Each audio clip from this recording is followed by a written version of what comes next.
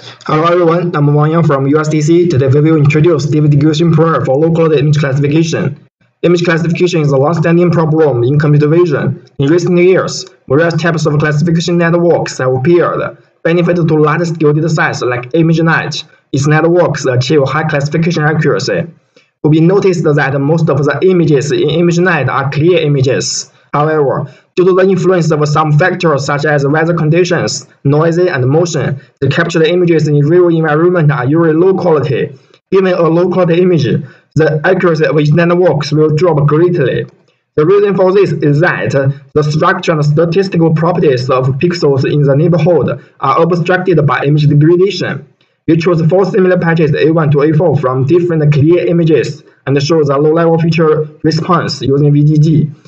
As shown in this image, the clear image patches have uniform feature response. However, due to the influence of degradation, the feature response of low-quality patches looks significantly different from that of high-quality patches. At present, there are many two ways to solve, to solve this problem. One solution for this problem is to firstly improve the visibility by image enhancement methods, and then to to perform classification. However, this kind of method often has low accuracy and poor robustness. Another feasible solution for this problem is to transform it into a domain adaptation problem. While promising, most existing domain adaptation approaches require either complex architectures or fine-tuning the target domain.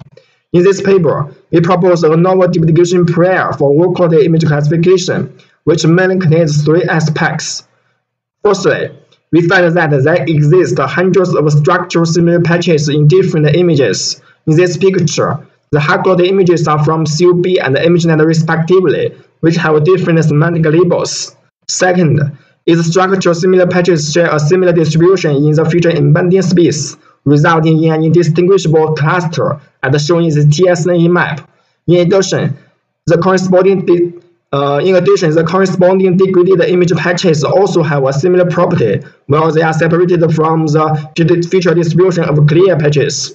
Third, if we can learn a mapping between the degraded features and the clear features, it could be used for arbitrary natural images.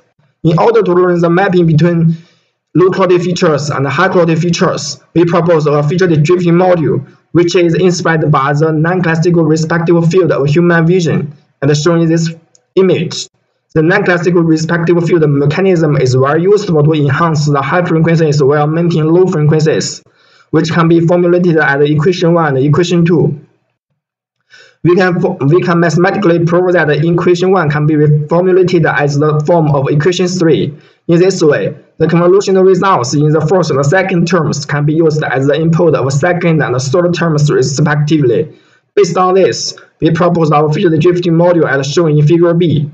This is our framework. The training of our the training of our feature drifting module doesn't need semantic labels for supervision.